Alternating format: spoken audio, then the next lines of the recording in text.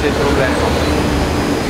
Vero? Se c'è meno controllo, sei più stanco, hai meno voglia, allora lì compri di più. Sì, ma poi gli incidenti capitano.